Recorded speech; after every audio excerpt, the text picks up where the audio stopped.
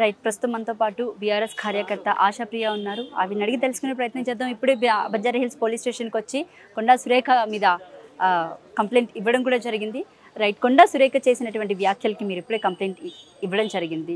So పోలీసులు corporators అంతా కూడా వచ్చి ఇక్కడ కంప్లైంట్ అయితే ఇచ్చారు. సో పోలీసులు ఏ విధంగా రియాక్ట్ అయ్యారు? అసలు ఏ విధమైన చర్యలు తీసుకుంటామని చెప్పారు? ఇది దాన్ని విచారించి అంటే దాని డెప్త్ ఏంది దాన్ని దాని లోతుని బట్టి తీసుకుంటామని అన్నారు. చూడాలి మరి. మేమైతే కంప్లైంట్ ఇచ్చినాం వాళ్ళు తీసుకుంటారనే ఆశిస్తున్నాం ఖచ్చితంగా. ఎందుకంటే ఇది ఎవరో ఒక్కరి ఇండివిజువల్కి ఐడెంటిటీకి సంబంధించింది కాదు కదా. అందరు అందరు మహిళా లోకానికి అంటే ఒక బ- ఒక అమ్మాయి బయటికి వచ్చి స్వతంత్రంగా బా ఈ స్వతంత్రంగా పనిచేస్తున్న కాలం ఇది. తనకు నచ్చింది చేస్తుంది తనకు నచ్చింది మాట్లాడుతుంది తనకు నచ్చినట్లు బతున్న ఈ కాలంలో ఒక అమ్మాయిని తన పర్సనల్ లైఫ్ని బజార్లోకి రాగడం అంటే బజార్లో తీసుకొచ్చి పెట్టి ప్రైవేట్ లైఫ్ని పెట్టడం అనేది చాలా దారుణమైన విషయం. ఖచ్చితంగా దాని మీద యాక్షన్ తీసుకోవాలని మేము కోరుకున్నాం. వాళ్ళు కూడా తీసుకుంటామని చెప్పారు మరి చూడాలి. రైట్. సో కన్ కొండ సురేఖ చేసినటువంటి వ్యాఖ్యలు ఏవైతే ఉన్నాయో కేటీఆర్ మీద? సో మీరు దాని దాని గురించి ఏం చెప్తారు? ఎందుకంటే చాలా తీవ్రమైన ఆరోపణలు. ఇది ఇది వరకు కూడా రకుల్ రావు అని చెప్పేసి అని మాట్లాడారు.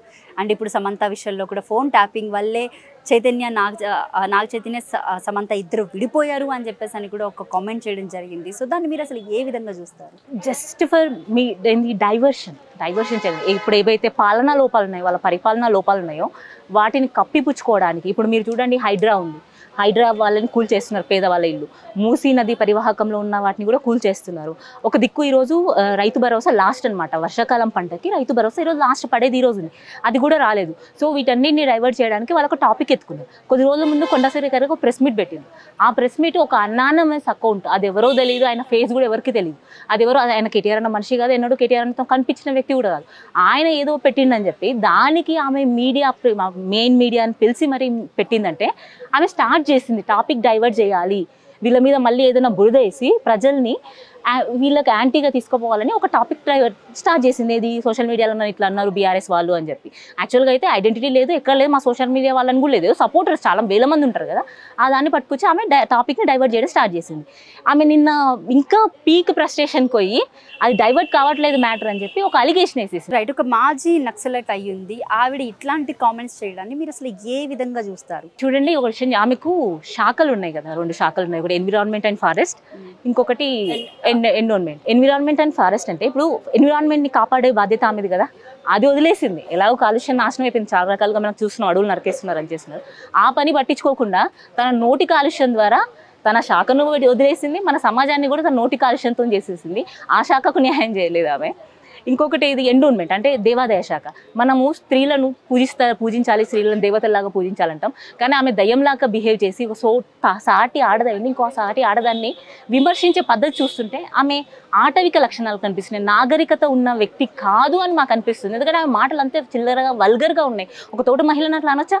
ఆమె మంత్రి స్థాయిలో ఉన్న- అలా ఉండి అనడం అనేది అనారోగ్య అనాగ అనగరి అనగరిక చర్య. సో ఎన్ కన్వెన్షన్ని కూల్చడం గురించి కూడా కామెంట్స్ వచ్చాయి. ఆ కామెంట్స్ గురించి కూడా ప్రత్యేకంగా తీసి మాట్లాడింది కొండా కొండా సురేఖ. దాన్ని మీరు అసలు ఏ విధంగా చూస్తారు? అంటే కేటీఆర్ దగ్గరికి ప- సమంతాని పంపించకపోతే ఎన్ కన్వెన్షన్ని కూల్ చేస్తామని అప్పటి ప్రభుత్వం వాళ్ళు అన్నారు అని చెప్పేసి ఒక టాపిక్ అయితే ఆవిడ మధ్యలోకి తీసుకురావడం జరిగింది. మీరు దాన్ని అసలు ఏ విధంగా చూస్తారు? క్లియర్గా మనం ఇక్కడ ఒకటి ఏం అర్థం చేసుకోవాలంటే ఆమె మినిస్టరా లేకుంటే బ్రోకర్ దందాలు ఏమన్నా నడుపుతుందా ఎందుకు అని నాకు ఇది ఈ- ఈ డౌట్ ఎందుకు వచ్చింది అంటుందంటే బ్రోకర్కి కదా ఇలాంటి మాటలు వస్తాయి పంపించుకోవాలి పంపించుకోలేకపోవడాలు మరి ఆ రోజు పంపిస్తే కూల్చడం ఆపేసినావా అని నువ్వు మాట్లాడుతున్నావు కదా? మరి ఈ రోజు ఎవరిని పంపించలేదని చెప్పి మీరు కూల్ చేసిండ్రు ఎవరిని పంపించలేదని కూల్ చేసిండ్రు అంటే నువ్వు బ్రోకర్ పనులు చేస్తున్నారా? మీరంతా రేవంత్ గాని నువ్వు కానీ అంటే మీరు ఎవరినన్నా పంపించమని అడిగిండ్రు. సో పంపించకపోయేసరికి మీరు కూల్ చేసిండ్రా అంటే ప్రభుత్వంలో ఇవి జరుగుతాయా? ఒకరిని పంపిస్తే కూల్చకుండా ఆగడాలు ఒకరిని పంపించకుంటే కూల్చేయడాలు ఇవి జరుగుతాయా? ఈ బ్రోకర్ మాటలు ఎందుకు మాట్లాడాలి? ఒక మంత్రిగా ఉండి. ఇవన్నీ బ్రోకర్లు చేసే మాటలు బ్రోకర్లు మాట్లాడే బ్రోకర్ బ్రోకరిజం చేస్తారు కదా ఒక ఇద్దరు వ్యక్తుల మధ్య. అలాంటి మాటలు మాట్లాడుతుంది కొండ సురేఖ. నిజంగా విచక్షణ రహితంగా అనాగరికంగా ఒక ఆటవిక వ్యక్తిగా మాట్లాడుతుంది ఒక ఉన్నత స్థాయిలో ఉండి ఆమె. ఇంకోటి మీరు ఆమె వాయిస్ విన్నారా? ఒక తోటి మహిళతో ఒక ఆడియో రికార్డింగ్ వైరల్ అవుతుంది విన్నారా? పచ్చి బూతులు మాట్లాడు. తోటి మహిళ తోటి మహిళతో కనీసం ఎవరినో తిట్టింది కూడా కాదు. తన తోటి మహిళతో అది ఈ కాలము అమ్మలక్కలు కూడా మన పల్లెటూరులో కూర్చొని మాట్లాడట్లేదు. ఎవరు పనులు వాళ్ళు చేసుకుని పోతున్నారు అంత గలీజ్గా అయితే మాట్లాడట్లేదు. మరి అంత సంస్కారహీనమైన వాటిని ఆమెను ఇంకా ఎందుకు మంత్రి పదవిలో పెట్టినో మాకైతే తెలియదు. ఖచ్చితంగా అలాంటి వాళ్ళు మంత్రి పదవి ఉంటే ఆడవాళ్ళకు ఏమంటారు ఆడవాళ్ళకు కూడా కలంకమే ఆడవాళ్ళకు కూడా కరెక్ట్ కాదు. దీని మీద రేవంత్ రెడ్డి స్పందించకపోవడాన్ని మీరు ఏ విధంగా చూస్తారు? అండ్ దాని తర్వాత నిన్న నైట్ కూడా కాంగ్రెస్ లీడర్ ఒక ఆయన మీడియా ఇన్ఛార్జ్ కూడా వెళ్ళి పోలీస్ స్టేషన్లో కంప్లైంట్ ఇవ్వడం జరిగింది. కేటీఆర్ ఇష్టం వచ్చినట్టు మా మీద కామెంట్స్ చేస్తున్నాడు. హైడ్రాని అండ్ మూసీ రివర్ డెవలప్మెంట్ని ఏవైతే ఉన్నాయో వాటిని ఆ, ఇష్టం వచ్చినట్టు కామెంట్స్ చేస్తున్నాడు. నోటుకు వచ్చినట్టల్లా మాట్లాడుతున్నాడు అని చెప్పి డిఫర్మేషన్ కేసు వేస్తామని నేను ఒక పోలీస్ స్టేషన్కి కూడా వెళ్ళి కేసు వేయడం జరిగింది. దాన్ని మీరు ఏ విధంగా చూస్తారు? చూడండి ఇక్కడ ఇక్కడ ఏం చెప్పాలంటే రేవంత్ రెడ్డి గురించి అడిగారు మీరు ఫస్ట్. ఏమని ఆయన ఎందుకు స్పందించలేదు? ఆయనే సంస్కారహీనుడు. అసెంబ్లీలో ఆయన్నే ఆడవాళ్ళని ఉద్దేశించి మా మహిళా ఎమ్మెల్యేలను ఉద్దేశించి మిమ్మల్ని నమ్ముకుంటే అడుక్క తింటారని చెప్పి సభా సాక్షిగా అవమానించినోడు ఆయన. ఆయన నుంచి సంస్కారం మళ్ళీ ఆయన ఆయన శిష్యుల నుంచి కూడా సంస్కారం ఇట్లా ఆయనను చూసే వీళ్ళు నేర్చుకున్నారు. ఆయన ఏదో దీన్ని ఖండిస్తాడు సంస్కారవంతంగా మాట్లాడతాడు మా మంత్రి తప్పు చేసిన అంటారని మేమైతే ఊహించలేదు. ఆయన నుంచే వీళ్ళు నేర్చుకున్నారు. నిజం చెప్పాలంటే ఆయన మెప్పు పొందడానికే వీళ్ళు ఇవన్నీ మాట్లాడుతున్నారు. ఇంకోటి మీరు హైడ్రా మీద మాట్లా చేస్తున్నారని మాట్లాడుతున్నారు కదా. అదే మూసీ సుందరీకరణ మీద. మీరే కదా ఫస్ట్ ఒక బడ్జెట్ వేసుకున్నారు యాభై వేల కోట్లు తర్వాత డెబ్బై ఐదు వేల కోట్లు తర్వాత లక్షన్నర పెంచిండ్రు కదా. మరి నువ్వు రోజుకు యాభై నుంచి లక్షన్నర అంటే వంద శాతం నువ్వు ఫండ్స్ పెంచినప్పుడు అనుమానాలు వస్తాయి కదా మరి మాకు. ఎందుకంటే నమామి గంగకి నలభై వేలు అయింది ఎంత? రెండు వేల ఐదు వందల కిలోమీటర్లు నమామి గంగే. మొత్తం దేశం మొత్తంలో గంగాకు ఉన్నది. దాన్ని క్లీన్ చేయడానికి నలభై వేల కోట్లు అయితే ఎనిమిది వేల కోట్లు సమ్ ఎక్స్ అమౌంట్ అయింది. ఖాళీ యాభై ఆరు వేల యాభై ఆరు కిలోమీటర్లు కేవలం యాభై ఆరు కిలోమీటర్లు ప్రవహించే మూసీ నదికి లక్షన్నర వేల కోట్లు ఎందుకు అవుతున్నాయి? మరి మాకు డౌట్స్ ఉంటాయి కదా? తీర్చాల్సిన హౌస్ నుంచి డ్రైనేజ్ సిస్టమ్లో కలిసింది కాబట్టి దాన్ని మొత్తం అంటే అది యాక్చువల్లీ చెప్పాలంటే చనిపోయిన చనిపోయిన నది కిందే దాన్ని చూస్తారు బేసిక్గా. సో అది జీవనదిని చేయాలి అంటే మినిమం ఆ మాత్రం ఖర్చు ఉండొచ్చేమో కదా? దానికి ఎందుకు ఖర్చు అవుతుందండి? నమామి గంగే కూడా- నమామి గంగ కూడా అంతే. ఇప్పుడు గంగని తీసుకోండి. గంగలో కూడా శవాలనే కదా వేస్తారు. మరి దాన్ని క్లీన్ చేయడానికి కూడా అంతే అమౌంట్ అవుతుందా? చూడండి సార్ రెండు వేల ఐదు వందల కిలోమీటర్ల గంగని క్లీన్ చేయాలి అంటే చాలా తక్కువ అమౌంట్లో చేసిండ్రు వాళ్ళు. మరి దీనికి యాభై ఆరు వేల యాభై ఆరు కిలోమీటర్లకి నువ్వు ఎంత చనిపోయిన నదిగా చేయాలంటే కూడా ఇప్పుడు ప్రాజెక్ట్ కాళేశ్వరం కడితే లక్ష కోట్లు అయింది. దాదాపు ఎన్ని సగం ఉత్తర ఉత్తర తెలంగాణకు మొత్తానికి నీళ్ళు ఇస్తుంది. దానికి లక్ష కోట్లు అయినప్పుడు ఖాళీ యాభై ఆరు కిలోమీటర్లను జీవనదిగా చేయడానికి నీకు లక్షన్నర వేల కోట్లు ఎందుకు అవుతాయి. చిన్న లాజిక్ యాభై ఆరు కిలోమీటర్ల నది చాలా తీవ్రమైన ఆరోపణల గురించి ఇటు తెలుగు సినిమా ఇండస్ట్రీ కూడా బాగా రెస్పాండ్ అవుతుంది. ఓ పక్క నుంచి చా- అంటే చాలా మంది ఖండిస్తున్నారు. అండ్ మార్నింగే ఆవిడ ప్రెస్ మీట్ పెట్టి కూడా దీన్ని వెనక్కి తీసుకుంటున్నాను అనే ఒక మాట కూడా చెప్పారు. బట్ కేటీఆర్ కేటీఆర్ మీద అయితే ఆ వ్యాఖ్యలు వెనక్కి తీసుకొని నేను ఎట్టి పరిస్థితుల్లో అవసరం అయితే నా మీద డిఫ డిఫర్మేషన్ కేసు వేసినా సరే నేను పోరాడతాను లీగల్గా తెలుసుకుంటానని అంటున్నారు. సో దాని మీద అది అది ఎలా అండి? మీరే మీరే చెప్తున్నారు. సమంత గారి మీద చెప్పిన స్టేట్మెంట్ వెనక్కి తీసుకుంటా కేటీఆర్ గారి స్టేట్మెంట్ వెనక్కి తీసుకోనంటే వాళ్ళిద్దరిని కలిపే కదా మాట్లాడింది. అంటే ఆటోమేటిక్గా ఆవిడ మీద తీసుకుంటే ఇది అబద్ధం అనే కదా. ఆవిడంతటా ఆవిడ నోట్లో చెప్తుంది కదా ఇది అబద్ధము నేను మాట్లాడింది అబద్ధం అన్నట్టు నిన్న మాట్లాడిన మాటలు ఇవాళ ఆవిడ ఆవిడే చెప్పుకుంటుంది ఆవిడే ఒప్పుకుంటుంది. నేను ఏదో మనోవేదనకి గురై మాట్లాడాను నాకు ఏదో ఇబ్బంది కలిగి నేను అని చెప్పి ఆవిడే చెప్తుంది. అంటే దాని అర్థం ఆవిడే డైరెక్ట్ స్టేట్మెంట్ ఇస్తుంది నేను మాట్లాడింది నేను అంత అబద్ధం కాబట్టి ఈరోజు అంటే ఇద్దరిని కలిపి మాట్లాడినప్పుడు నువ్వు ఎట్లా ఒకళ్ళ మీద స్టేట్మెంట్ వెనక్కి తీసుకుంటావు ఒకళ్ళ స్టేట్మెంట్ ఎట్లా తీసుకో వెనక్కి? ఎంత నీకే అర్థం అవ్వాలి ఆవిడ మాట్లాడే మాటలే ఎంత బయాస్డ్గా ఉన్నాయి ఎంత ఎంత ఈ రెండు వైపులుగా ఆవిడే మాట్లాడుతుంది అనేది మీరు అర్థం చేసుకోవాలి. ఎందుకంటే ఇది కంప్లీట్గా రాజకీయ కోణంగా ఆవిడ మాట్లాడుతుంది. ఏదైతే ప్రస్తుతం హైదరాబాద్ సిటీలో జరుగుతుందో దాన్ని కొంచెం డైవర్ట్ చేయాలనే ఉద్దేశంతో ఇలాంటి వ్యాఖ్యల్ని తీసుకురావడం జరిగింది. ఎందుకంటే మీకు తెలుసు సినీ ప్రముఖుల్ని ఎప్పుడు కూడా ఏ ఏ రాజకీయ నేతలు కానీ ఏ రాజకీయ ప్రభుత్వాలు ఎన్ని ప్రభుత్వాలు వచ్చినా కూడా ఏ రాజకీయ నాయకులు కూడా సినీ ప్రముఖుల్ని రాజకీయ రాజకీయంలోకి ఇన్వాల్వ్ చేసి మాట్లాడలేదు. కానీ ఫస్ట్ టైం ఆవిడ ఒక మహిళ అయి ఉండి మంత్రి పదవిలో ఉంటూ చాటి మహిళలకి ఆదర్శంగా ఉండాల్సింది. పోయి మహిళల మీద మహిళలు కించపరిచే విధంగా వాళ్ళ పర్సనల్ లైఫ్ తీసుకొచ్చి ఆవిడకి ఏదో తెలిసినట్టు ప్రతి దాంట్లో ఆవిడ ఇన్వాల్వ్మెంట్ ఉన్నట్టు ఆవిడ మాట్లాడడం అనేది తీవ్రంగా మేము ఖండిస్తున్నాం. బీఆర్ఎస్ హయాంలో ఎన్ కన్వెన్షన్ని కూల్చకుండా ఉండడానికి సమంతాని పంపించాలి అని చెప్పేసి అని ఒక కామెంట్ కూడా ఆవిడ చేయడం జరిగింది. దాన్ని మీరు అసలు ఏ విధంగా చూస్తారు? అంటే ఈ రోజు అంటే ఎవరిని పంపించకపోతే అంటే ఈ కామెంట్ కూడా సోషల్ మీడియాలో బాగా వినపడుతుంది. ఎవరిని పంపించకపోతే ఎన్ కన్వెన్షన్ కూల్ చేశారు అన్న వర్డ్ కూడా గట్టిగా వినపడుతుంది. సో దాని మీద మీరేం చెప్తారు? మరి అంతే కదండి. ఆవిడ చెప్పిన స్టేట్మెంటే కదా. ఇప్పుడు ఎన్ కన్వెన్షన్ కూల్చలే కూల్ కూల్చలేదు అంటే ఇప్పుడు నిజంగానే అదేమన్నా జరిగి ఉంటే అప్పుడు అప్పుడే కూల్చ అప్పుడే కూల్చేసేయాలి కదా ఆవిడ. ఒకటి రాలేదు. అందుకని ఆవిడంతా ఓపెన్గా చెప్తుంది. మా సమంత ఒప్పుకోలేదు ఒప్పుకోనందుకు ఇది జరిగిందండి మరి జరిగినప్పుడు అప్పుడే కూల్చాలి కదా. నిజంగా అవన్నీ అవన్నీ వాస్తవాలు అయితే అప్పుడే కూల్చాలి కదా. ఎందుకు అవ్వలేదు ఎందుకంటే మేము ఒక కోర్ట్ వాళ్ళకి ఇమీడియట్గా మేము కూడా నోటీసులు ఇవ్వడం జరిగింది అండ్ కన్వెన్షన్ మీద. దాని దాని మీద కోర్ట్ స్టే ఆర్డర్స్ ఉన్నాయి. మేము కోర్ట్ని రెస్పెక్ట్ చేసి మేము యాక్షన్ తీసుకోలేదు కానీ లేకపోతే ఆ, మేము ఇప్పుడు ఎన్వెన్షన్ కూల్చు ఎన్ కన్వెన్షన్ కూల్చివేతకిను ఈ దీనికి సంబంధం ఏముంది? ఎలా మాట్లాడతారు? ఇప్పుడు నిజంగా మీరు చెప్పినట్టు ఎవరిని పంపిస్తే ఇప్పుడు ఈరోజు పంపించకపోతే కూల్ కూల్చారు. అనేది మేము కూడా మాట్లాడొచ్చు. కానీ ఏంటంటే ఒక మహిళ ఉండి మహిళల గురించి మాట్లాడకూడదు అని చెప్పి ఒక మాకు సంస్కారం ఉంది కాబట్టి మేము మాట్లాడాలి అలాగే అలాగే గతంలో కూడా ఇదే విషయానికి అంటే కేటీఆర్కి సంబంధించి గతంలో కూడా ఇదే కాంగ్రెస్ ప్రభుత్వం చాలా అంటే చాలా తీవ్రమైన విమర్శలు చేసినటువంటి దాఖలాలు కనిపించాయి. ముఖ్యంగా రకుల్ రావని రకుల్ ప్రీత్ సింగ్ని తీసుకురావడం ఎక్కువగా సినిమా ప్రముఖులతో కేటీఆర్ పెట్టడం కానీ ఇలాంటివి చాలా కనిపించాయి. అండ్ ఇప్పుడు రీసెంట్గా సమంత నాగ చైతన్యకి సంబంధించి ఇద్దరు విడిపోవడానికి ప్రధాన కారణం కేటీఆర్ ఫోన్ ట్యాపింగ్ వల్లే అన్న ఆరోపణ కూడా కాంగ్రెస్ ప్రభుత్వం ఏ ఏర్పడగానే ఈ మాట వినిపించింది. సో దాని గురించి మీరు ఏం చెప్తారు? ఎప్పుడైనా ఒక ఒక ఇమేజ్ ఉన్న పర్సన్ ఒక ఫేమ్ ఉన్న పర్సన్ని డ్యామేజ్ చేయాలంటే ఫస్ట్ మాట్లాడేది క్యారెక్టర్ పర్సనల్ లైఫ్ గురించే మాట్లాడతారు. ఎందుకంటే కేటీఆర్ గారు ఒక బ్రాండ్ ఇమేజ్ మొత్తం ఓన్లీ రాష్ట్రంలో రా- రాష్ట్ర వ్యాప్తంగానే కాదు ప్రపంచ వ్యాప్తంగా కూడా ఒక ఇమేజ్ ఉన్న వ్యక్తి కాబట్టి ఆయన గురించి మాట్లాడాలంటే ఇంకేం ఆధారాలు లేక ఇలాంటి మాటలు మాట్లాడాల్సి మాట్లాడుతున్నారు. నేను నేను అడుగుతున్నా ఈరోజు కొండా సురేఖ గారిని ఆవిడకి ఆవిడకి ఎలా తెలుసు రేవ్ పార్టీ రేవ్ పార్టీలు జరిగినాయి అని ఎలా తెలుసు? రకుల్ ప్రీత్ సింగ్ గారికి డ్రగ్స్ అలవాటు చేశారని ఎలా తెలుసు? ఆవిడ కూడా అందులో పాల్గొన్నారా? లేకపోతే ఎలా తెలుసు ఏ ప్రూఫ్స్ ఆవిడ మాట్లాడుతున్నారు అని చెప్పి నేను ఈ రోజు మీ ద్వారా ఆవిడని ప్రశ్నిస్తున్నాను. ఎందుకంటే మనం మాట్లాడే ముందు సంస్కారం అనేది ఒకటి ఉంటుంది. ఒక మహిళగా ఒక్కొక్క సంస్కారంతో మనం మాట్లాడాల్సి వస్తుంది. అది కూడా మంత్రి పదవిలో ఉండి ఆవిడ ఇలా మాట్లాడడం అనేది మేము తీవ్రంగా ప్రస్తుతం మనతో పాటు అయితే బీఆర్ఎస్ కార్పొరేటర్ మనే కవిత రెడ్డి గారు ఉన్నారు. ఆవిడతో మాట్లాడే ప్రయత్నం చేద్దాం. మేడం చెప్పకుండా సురేఖ చేసినటువంటి వ్యాఖ్యలు ఏవైతే ఉన్నాయో వాటి మీద మీరు కంప్లైంట్ ఇవ్వడం జరిగింది. సో పోలీసులు ఏ విధంగా రెస్పాండ్ అయ్యారు? ఏసీపీ సార్కి కూడా మేము కంప్లైంట్ ఇవ్వడం జరిగింది. సిఏ సార్కి కూడా మేము కంప్లైంట్ ఇవ్వడం జరిగింది. సార్ వాళ్ళు ఒకటే మాట చెప్పారు ఒక two days couple of days time ఇవ్వండి తక్షణమే మేము దీని మీద చర్యలు తీసుకుంటాము. చట్టపరంగానే న్యాయమే జరుగుతుందని కూడా మాకు చెప్తా ఉన్నారు ఆ విషయంలో. సో ఆ విషయమే కాకుండా సి ఏసీపీ సార్ కూడా చెప్పారు ఈ కంప్లైంట్ కాపీ ఇక్కడి నుంచి మేము కోర్టు కూడా పంపిస్తామనే విషయం చెప్పారు. హోప్ ఫర్ ద బెస్ట్ చట్టపరమైన న్యాయం జరుగుతుందని మేము నమ్ముతా ఉన్నాము. మార్నింగ్ మరికొండ సురేఖ ప్రెస్ మీట్ పెట్టి. నా మాటల్ని ఉపసంహరించుకుంటున్నాను. అంటే అంటే అది సారీ కూడా చెప్పడం కాదు ఉపసంహరించుకుంటున్నాను. అది కూడా సమంత చేసి సమంత మీద చేసినటువంటి వ్యాఖ్యల్ని మాత్రమే ఉపసంహరించుకుంటున్నాను. బట్ కేటీఆర్కి సంబంధించి నేను లీగల్గా కోర్టులో తేల్చుకుంటాను. నా మీద డిఫర్మేషన్ కేసు వేసినప్పటికీ కూడా నేను కూడా కోర్టుకి వెళ్తాను అని చెప్పేసి ఆవిడకు కామెంట్ చేయడం జ- జరిగింది. ఒక మాట మీకు చెప్తా ఉన్నాను. సమంత ఆ, అక్కినేని కుటుంబానికి క్షమాపణ చెప్పిన కొండ సురేఖ గారు మరి రామన్నకి చెప్పడానికి ప్రాబ్లం ఎక్కడొస్తుందండి? మరి దీన్ని బట్టి చూస్తే ఇది రాజకీయ కుట్రే అనుకోవచ్చు కదా. రాజకీయంగా చేస్తున్నట్టే ఉంది కదా. దీని ఉద్దేశం ఇది ఉద్దేశంగా తీసుకుంటే ఏదో విధంగా ఒక మనిషి మీద ఒక మచ్చ పెట్టాలి అనే విధంగానే దీన్ని నా ఉద్దేశపూర్వకంగా అయితే అదే కనిపిస్తూ ఉంది.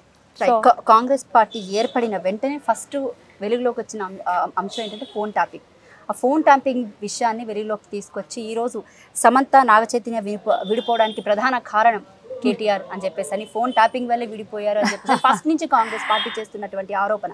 నేను మీకు ఇంకో విషయం చెప్పాలి. ఆ మాట మీరు అంటా ఉన్నారు. ఫోన్ ట్యాపింగ్ వల్లనే సమంత అక్కినేని నా చైతన్య గారు విడిపోయారని మీరు చెప్తా ఉన్నారు. మరి సమంత కూడా ట్వీట్ చేసింది కదండి. నా డైవర్స్కి మేము విడిపోవడానికి మా మేము అంగీకారంగానే విడిపోయాం తప్ప కేటీఆర్ అన్న వాళ్ళ రాజకీయంగా ఎటువంటి సంబంధం లేదు. మా అండర్స్టాండింగ్ మీద మేము డైవర్స్ తీసుకున్నామని తనే క్లారిటీ ఇచ్చింది. అక్కినేని అమల గారు కూడా ట్వీట్ చేశారు నాగార్జున గారు ట్వీట్ చేశారు. వాళ్ళే చెప్తున్నారు కదండి మా మా అండర్స్టాండింగ్ మీద మాకు అయ్యింది తప్ప మాకు రాజకీయంగా ఎటువంటి సంబంధం లేదని చెప్పారు. ఇంకా ఏ విధంగా ఫోన్ ట్యాపింగ్ అని ఏ విధంగా అసలు కొండ సురేఖ గారికి ఏం తెలుసని మాట్లాడుతుందండి ఫోన్ ట్యాపింగ్ అయింది? ప్రూఫ్స్ ఏవండి? ప్రూఫ్స్ ఉన్నాయి? మీ దగ్గర ఉన్నాయండి ప్రూఫ్స్ సమంత గారు ఏమైనా ప్రూఫ్స్ చూపించారా? ఎన్కన్వెన్షన్ విషయానికి వస్తే కనుక ఆ రోజు కేటీఆర్ పంపించలేనందుకే కేటీఆర్ అడిగాడు పంపించలేదు అని చెప్పేసి చాలా జుగుప్సాపరంగా మాట్లాడిన అంశం కూడా అంటే ఒక మాజీ నక్సలైట్ అయ్యుండి ఒక మహిళ అయ్యుండి ఆవిడ ఇలా మాట్లాడడాన్ని అసలు బేసిక్గా అటు సినిమా ఇండస్ట్రీ పెద్దలు కానివ్వండి లేకపోతే సినిమా ఇండస్ట్రీ మొత్తం కూడా దీని మీద తీవ్ర వ్యతిరేకత చూపిస్తుంది. అలాగే రాజకీయ పరంగా కూడా పెద్ద దుమారం రేపుతుంది. మీరు ఆ మాటలు అంటుంటే నేను వినలేకపోతున్నాను. సారీ ఇప్పుడు మీరు ఈ మాట మాడుతూ నేనే వెళ్ళిపోదాం అనుకుంటాను. పంపించమని చెప్పిండు పంపించకపోతే లేకపోతే అంత చీప్గా మాట్లాడతారండి ఒక మినిస్టర్ ఏంటి ఒక మహిళ అండి. పంపించడం ఏంటి? రమ్మండం ఏంది? ఆయన పంపించమండి. ఈ రూమ్కి ఏందండి భాష ఏంటి? ఈ స్లాంగ్ ఏంది? ఈ లాంగ్వేజ్ ఏంది? ఎక్కడున్నాం? ఇంత టెక్నాలజీ డెవలప్మెంట్ అయిపోయింది. ఇంత డెవలప్మెంట్లు ఇలాంటి టెక్నాలజీ ఉన్న అప్డేటెడ్ అయి ఉన్నప్పటికీ కూడా ఆ స్లాంగ్ వాడొచ్చా? ఒక మహిళగా మాట్లాడొచ్చా ఆ మాటలు? కొండ సురేఖ కూడా ఒక బిడ్డ ఉంది కదండి ఒక ఆడపిల్ల ఉంది కదా ఒక తల్లే కదండి. మరి ఆలోచించి మాట్లాడాలి? వాస్తవాలు ఏంది? అవాస్తవాలు ఏందో తెలుసుకోవాలి. అంతేగాని ఇంత చీప్ వల్గర్ లాంగ్వేజ్గా మాట్లాడడం అనేది నోటికి హద్దు అదుపు అన్నది ఉండాల. కొండ సురేఖ గారు కానీ సీతక్క కానీ మాట్లాడడం అనేది పద్ధతైన మాట. వావి వరసలు మనుషులు కుటుంబాలు బంధుత్వాలు ఒక నోటి మాటతోటి ఈరోజు కుటుంబం కుటుంబం పిఎస్కొచ్చి కంప్లైంట్స్ ఇస్తున్నారంటే వాళ్ళ మనసుకు తగులుతోంది. రమ్మన్నారు పొమ్మన్నారు లేకపోతే కన్వెన్షన్ ఏందండి స్లాంగ్ ఎట్లండి? అసలు రేవంత్ రెడ్డి గారు కొండ సురేఖకి ఎందుకు ఇచ్చారో మినిస్ట్రీ ఎలా ఇచ్చారో? తన ఒక మినిస్ట్రీనా అండి? ఈ విధంగా మాట్లాడడం అనేది? ఓ మినిస్ట్రీ అదేనండి. ఎండోన్మెంట్ మినిస్టర్ గారికి నేను చెప్తా ఉన్నాను. ఆమె ఉన్న పదవిలో తను చేయాల్సిన పనులేంది తన బాధ్యత ఏంది ఇదే పెట్టుకోకుండా మా అంతకుముందు ఒకసారి రేవంత్ రెడ్డి గారు ఏమో కల్వకుంట్ల కవితక్క గురించి మాట్లాడతారు. ఒకరు వచ్చేసి ఏమో హరీష్ రావు అన్న గురించి మాట్లాడతారు. ఒకరు వచ్చేసి ఏమో క- కేటర్. ఫ్యామిలీ ఫ్యామిలీ పార్టీ మీద ఏదో ఒక టార్గెట్ చేయాలా? ఆ టాపిక్ రావాలా? సోషల్ మీడియాలో స్క్రోలింగ్ అవుతే కాలం గడవాలా? లేటెస్ట్ అప్డేట్ ఏంటంటే టీపీసీసీ ప్రెసిడెంట్ ఎవరైతే మహేష్ కుమార్ గౌడ్ ఉన్నారు. ఆయన ఇరువైపులా కూడా మహిళలు ఈ విషయాన్ని ఇక్కడితో ఆపేయండి. లేకపోతే ఏ విషయంలో అండి? ఏ విషయంలో? కామెంట్స్ చేసిన సమంత మీద చేసినటువంటి కామెంట్స్ కానివ్వండి. అటు మహిళే ఇటు మహిళే కాబట్టి దీన్ని ఇక్కడితో ఆపేయండి ఉపసంహరించుకుంటుంది కాబట్టి అని చెప్పేసి ఒక కామెంట్ చేయడం జరిగింది. ఓకే. దానికి మీ సమాధానం ఏంటి? ఇప్పుడు ఆయన ఒక ప్రెసిడెంట్గా పీసీసీ ప్రెసిడెంట్గా నేను ఒకటే మాట చెప్తా ఉన్నాను. ఇరువైపులా మహిళల విషయంలో చెప్పినప్పటికీ కానీ సమస్య ఇద్దరికి ఇద్దరు ఇప్పుడు ఇక్కడ రామన్న విషయంలో సమంత విషయంలో మాట్లాడినప్పుడు నేను ఒకటే చెప్తాను. ఆయన ఇరువైపులా మహిళలు అంటున్నాడు కదా. నేను ఇరువైపులా ఇక్కడ రామన్న విషయంలో కానీ ఇక్కడ సమంత విషయంలో ఇరువైపులా క్షమాపణ మాటలు ఎలా అయితే సమంత గారికి అన్న మాటలు వెనక్కి తీసుకుందాం ఇరువైపులు అన్నప్పుడు రామన్న మాటలు అన్నది కూడా వెనక్కి తీసుకోవాలని నేను డిమాండ్ చేస్తాను. డిఫర్మేషన్ వేసిన నేను లీగల్గా తేల్చుకుంటానంటున్నారు మరి? ఎవరు చెప్తా ఉన్నారు మంచిదేనండి తేల్చుకోమని ప్రూఫ్స్ ఏమైనా పట్టుకురామని మేమందరం కూడా ఉన్నాం కదండి. కరెక్ట్ అయిన మాట కాదు. ఒక స్టేట్గా పీసీసీ ప్రెసిడెంట్ అన్న మాట్లాడుతూ ఉన్నారు. ఆయన కూడా చెప్తాను. మహిళ అంటున్నారు కాబట్టి ఇక నుంచైనా ఆయన కొత్తగా ఎన్నుకున్నారు కాబట్టి ఆయన కొత్తగా పదవి తీసుకున్నప్పుడు ప్రెసిడెంట్ గారు ఇప్పటికైనా మహిళ అంటున్నారు. అసలు మహిళలకు కావాల్సిన రక్షణ ఏంటి? మహిళలకు కావాల్సిన పథకాలు ఏంటి? మహిళలకు కావాల్సిన పనులేంటి వాళ్ళకున్న ఆరు గ్యారంటీలు ఇచ్చిన రేవంత్ రెడ్డి గారు ఏమి ఇచ్చారో దాన్ని ఇప్పటికైనా సరే రేవంత్ రెడ్డి గారు చేయకుండా ఇక్కడ మీద మీరు వచ్చారు కాబట్టి మీరైనా చేస్తారని ఒక హోప్లో ఉన్నారు. సరే మీరన్నా మహిళల మీద గౌరవం ఇచ్చారు కాబట్టి ఆ విధంగా ఆరు గ్యారెంటీలు ముందుకు తీసుకెళ్ళాల్సిందా మేము డిమాండ్ చేస్తాం. రైట్ మూసీ నదికి సంబంధించి ఏదైతే ఉందో ఆ ప్రక్షాళన అంటే ఇదంతా కంప్లీట్ డైవర్షన్ పాలిటిక్స్ గానే నడుస్తుంది. ఇప్పుడు కొత్తగా అంటే కావాలని రోడ్డు మీదకి సమంతాన్ని లాగారు కాంగ్రెస్ పార్టీ వాళ్ళని చెప్పేసి సోషల్ మీడియాలో బాగా విమర్శలు వినబడుతున్నాయి. సో దాని మీద మీ కామెంట్ ఏంటి ఫ్యాక్ట్ అండి హండ్రెడ్ పర్సెంట్ నేను ఒప్పుకుంటాను విషయంలో. ఎందుకంటే మూసీ నది తీసుకోండి హైడ్రా విషయంలో తీసుకోండి ఆరు గ్యారెంటీలో మేము ఎవరికి పెన్షనే లేదు మాకు రేషన్ రావడం లేదు. ఇటు ఇటు మీరు చెప్పినట్టుగానే డై టాపిక్ డైవర్ట్ చేయడం విషయంలో వచ్చేసి బతుకమ్మ చీరలు లేవు. లాస్ట్ టైం మీరు కూడా చూస్తుంటారు ఒక్కొక్క ఇంటికి రెండు రెండు చీరలు ఆధార్ కార్డు మీద చూస్తే ఆధార్ కార్డు కదా రేషన్ కార్డు మీద ఎంతమంది మహిళలు ఉంటే అంతమంది మహిళలకు చీరలు ఇవ్వడం జరిగింది గత ప్రభుత్వంలో. సో అదే విధంగా ఇప్పుడు మహిళల విషయంలోకి వస్తే ఈ విధంగా తీసుకోవడము ఏదైతే విషయం ఈ టైంలో ఇప్పుడు పబ్లిక్ అడుగుతూ ఉంటారు అప్పుడు చీరలు వచ్చి ఇప్పుడు మాకు చీరలు లేదు అని అడుగుతూ ఉంటారు. ఇవన్నీ డైవర్ట్ చేయడానికి మూసీ నది విషయంలో కానీ మీకు ఇంకో విషయం కూడా చెప్పాలి. భవన్కి అందరూ లేడీస్ అందరూ కూడా మొన్న డెమోలిషన్ అయినప్పుడు అందరూ వచ్చారు. హరీష్ రావణ్ అని వచ్చినప్పుడు కలిసినప్పటికి అందరూ వచ్చినప్పటికీ కూడా ఈ మంచి పబ్లిక్లో ఒక మంచి బీఆర్ఎస్ అనే ఒక పార్టీ మీద ఒక ఫేమ్ వచ్చింది. రామన్న మీద హరీష్ రావణ కేసీఆర్ సార్ మీద. కానీ ఆ ప్రభుత్వమే బాగుంది. మళ్ళీ మీరు రావాలి సార్. మళ్ళీ ఇప్పుడు ఎలక్షన్స్ పెట్టి మిమ్మల్ని గెలిపించుకుంటాం ఈ ఫేమ్ని ఈ ఫేమ్ని ఈ ఫేమ్ని ఫాలో చేయడానికే Congress party target Congress party. నిన్న ఒక కామెంట్ చేయడం కూడా జరిగింది. ఇప్పుడు కానీ మూసి నది ప్రక్షాళన చేయకపోతే ఇంకెప్పటికీ జరగలేదు. మీరు హైదరాబాద్ డెవలప్మెంట్ అడ్డుకుంటున్నారు నేను. మీకు ఇంకో ఇంకొక మాట చెప్తా. మూసీ నది మీదకి ఎంత ప్రాజెక్ట్ అయితే డెవలప్మెంట్ డెవలప్మెంట్ అంటున్నారు కదా ఆ డెవలప్మెంట్ మీద ఎంతమందికి బెనిఫిట్ అవుతుంది అనే విషయం మీరు ఆలోచిస్తే ఆ లక్ష కోట్ల ప్రాజెక్టుని తీసుకో లక్ష యాభై వేల కోట్ల ప్రాజెక్టుని తీసుకొచ్చింది ఆ ఒక ఫండ్ ఆ ఒక బడ్జెట్ ముందు ఒకటి ఇది మన మహాలక్ష్మి విషయంలో కానీ రెండు వేల ఐదు వందలు వేయండి వృద్ధుల పెన్షన్ ఆగిపోయింది. రెండు వేల పెన్షన్ని నాలుగు వేలు చేస్తానన్నారు. నాలుగు వేల పెన్షన్ చేయండి. రేషన్ కార్డు విషయంలోకి వస్తున్నాను. రేషన్ కార్డు విషయంలో కూడా ఇంతవరకు మళ్ళీ న్యూ కార్డ్స్ ఇవ్వలేదు. ఇంకో విషయం చెప్తా ఉన్నాను. అదే బడ్జెట్ ఏదైతే లక్ష యాభై వేల కోట్లు అని చెప్పానో ఆ విషయానికి వస్తే తులం బంగారం ఇస్తాన రేవంత్ రెడ్డి గారు. ఇంతవరకు ఒక చెక్కు మీద ఒక తులం బంగారం ఇవ్వలేదు ఆ ఆరు గ్యారెంటీలు ఒక్క గ్యారెంటీ కూడా అమలు పరచలేని రేవంత్ రెడ్డి గారు ఇప్పుడు అంత బడ్జెట్ తీసుకెళ్ళి మూసి మీద పెడుతున్నాడంటే ఏం మీకు ఇంకో విషయం కూడా చెప్తున్నాను. మహిళలకి ఇప్పటికీ సుమారు రెండు వేల అత్యాచారాలు జరిగినప్పటికీ కూడా ఎలాంటి షీ టీమ్స్ ప్రొటెక్షన్ కానీ ఏమీ లేదు. అలాంటి షీ టీమ్స్ విషయంలో కానీ మహిళలకు ఎలాంటి రక్షణ లేకుండా Gandhi hospital sixty five members expired అయినప్పటికీ ఇంతవరకు రేవంత్ రెడ్డి గారు చీఫ్ మినిస్టర్గా ఉండి హోదాలో ఒక్కసారి కూడా వచ్చి కనీసం ఒక్కసారి కూడా వచ్చి చూడలేదు. మళ్ళీ చెప్తాడు పెద్ద పెద్ద మాటలు మాట్లాడితే కేసీఆర్ సార్ ఫామ్ హౌస్లో ఉన్నాడు అక్కడ ఉన్నాడు ఇక్కడ. ముందు రేవంత్ రెడ్డి గారు హోదాలో ఉన్నాడు. ఇప్పుడు చనిపోయిన వ్యక్తిలో కనీసం వాళ్ళ కుటుంబ సభ్యులకు కానీ ఏమైనా ఇవ్వాలి చేయాలన్న ఆలోచన లేదు వాళ్ళని పలకరించాలన్న ఆలోచన లేదు. అసలు గాంధీ హాస్పిటల్ కానీ ఏ గవర్నమెంట్ హాస్పిటల్ ఏ బస్తీ దవాఖాన కానీ ఏ ఒక యూపీహెచ్సి సెంటర్లో కానీ ఇంతవరకు స్టాఫ్ లేదు. మెడిసిన్స్ ఇంతవరకు ఫీవర్గా వస్తే కనీసం ఒక మెడిసిన్స్ లేవు. ఒక డాగ్ బై చేసే ర్యాపిడ్స్ అని మెడిసిన్ లేదు. ఒక సిరప్స్ లేవు. కాఫ్కి సిరప్ లేదు. కోల్డ్కి సిరప్ లేదు. వాళ్ళ శాలరీస్ లేవు. స్టాఫ్ లేదు. అలాంటి అందుబాటులో లేని మెడిసిన్స్ వల్ల ఈరోజు గాంధీ హాస్పిటల్ అరవై ఐదు మంది చనిపోయారు. ఇలాంటి వాటికి బడ్జెట్ కేటాయించవచ్చు కదండి? నేను అడుగుతా ఉన్నాను. ఫైనల్గా చెప్పండి.